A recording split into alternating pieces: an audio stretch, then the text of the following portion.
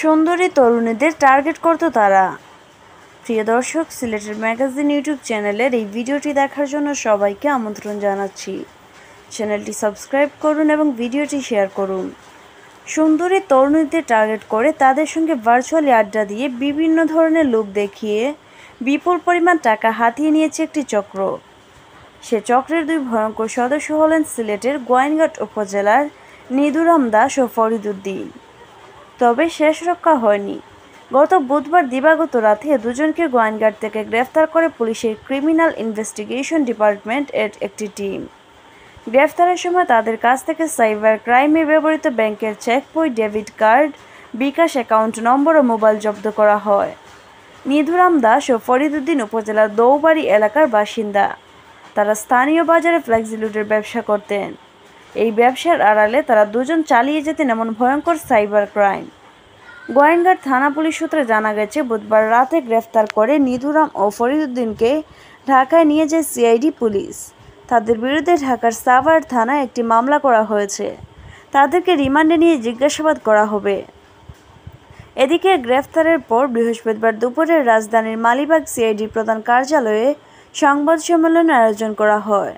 সংবাদ সম্মেলনে সিআইডির cyber crime command and control centre অতিরিক্ত ডিআইজি মোহাম্মদ কামরুল আহসান এই দুই ভয়ঙ্কর প্রতারক তাদের চক্রের বিষয়ে নানা চাঞ্চল্যকর তথ্য তুলে ধরেন। অতিরিক্ত ডিআইজি মোহাম্মদ কামরুল আহসান জানান, live streaming app StreamKar এ বিনস ও জেমস নামের দুটি ডিজিটাল মুদ্রা ব্যবহার করে ওই চক্র। এসব মুদ্রা বিনিময়ে সুন্দরী তরুণীদের সঙ্গে আড্ডার ফাঁকে তাদের নানা ধরনের লোভ দেখিয়ে কোটি টাকার জুয়ায় টেনে নেওয়া হয়। এক লাখ বিনস এক হাজার বিশ টাকা, এক লাখ জেমস ছশো টাকায় বিক্রি করা হয়। আর এই টাকা সংগ্রহ করা হয় বিভিন্ন মোবাইল ব্যাংকিং ও ব্যাংক অ্যাকাউন্টের মাধ্যমে। এভাবে ওই স্ট্রিম কার অ্যাপ ব্যবহার করে দীর্ঘদিন ধরে নিদুরাম ও ফরিদুদ্দিনের ব্যাংক অ্যাকাউন্টে কোটি টাকা লেনদেনের তথ্য পেয়েছে সিআইডি। মোহাম্মদ কামরুল আহসান আরও জানান, এই প্ল্যাটফর্মে বিভিন্ন অপরাধ পরিচালিত হওয়ার তথ্যের ভিত্তিতে সাইবার পুলিশ অনুসন্ধান চালিয়ে যাচ্ছিল। এই অনুসন্ধানে পনেরোটি ব্যাংক অ্যাকাউন্ট থেকে বিপুল পরিমাণ তথ্য পায় সাইবার পুলিশ। এই অ্যাপের মূল টার্গেট সুন্দরী তরুণীয় বিদেশে অবস্থানরত প্রবাসীরা। গত উনিশ মে অ্যান্টি টেরোরিজম ইউনিট অভিযান চালিয়ে এই চক্রের চারজনকে গ্রেফতার করে।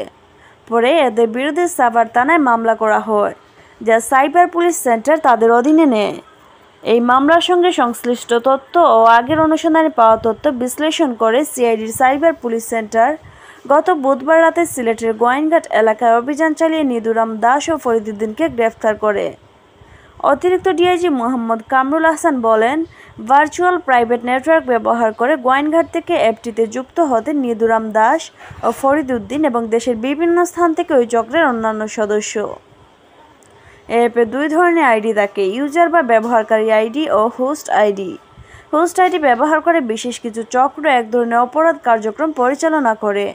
সেখানে তরুণীদের হোস্টিং করিয়ে বিভিন্ন উপায়ে অর্থ উপার্জন করা হয়। লাইভ স্ট্রিমে তাদের সঙ্গে আড্ডা দেওয়ার প্রলোভনে অ্যাপে প্রবেশ করেন সাধারণ ব্যবহারকারীরা। তার জন্য বিনস নামে ভার্চুয়াল মুদ্রা কিনতে হয়। সেই মুদ্রা উপহার হিসেবে দিয়ে আড্ডায় যুক্ত হন ব্যবহারকারীরা। টাকা সংগ্রহের বর্ণনা দিয়ে বলেন, এই টাকা সংগ্রহ করা হতো বিভিন্ন মোবাইল ব্যাংকিং ও ব্যাংক অ্যাকাউন্টের মাধ্যমে। এই এজেন্সিগুলো তা কিনে নিত বিদেশি অ্যাপের অ্যাডমিনদের কাছ থেকে। এরকম স্ট্রিম কার্ডের অনেক এজেন্ট রয়েছে বাংলাদেশে। তারাই ডিজিটাল বা ভার্চুয়াল মুদ্রা কেনাবেচা করে। লক্ষাধিক বাংলাদেশি ব্যবহারকারী online banking, hundi, Neteller, Skrill ও বিদেশি একটি ব্যাংকের মাধ্যমে ডিজিটাল মুদ্রা কিনেছে। এর মাধ্যমে প্রতি মাসে বিপুল পরিমাণ টাকা পাচার হয়ে যাচ্ছে বলেও জানান সিআইডির এই কর্মকর্তা। কামরুল হাসান বলেন, স্ট্রিম কার্ড পরিচালনায় জড়িত প্রত্যেকের একাধিক ব্যাংক ও বিকাশ অ্যাকাউন্ট রয়েছে। গ্রেফতারকৃত নিদুরামের দাসের ব্যাংক ও বিকাশ অ্যাকাউন্টের মাধ্যমে গত এক বছরে দশ কোটিরও বেশি টাকা লেনদেনের তথ্য পাওয়া গেছে।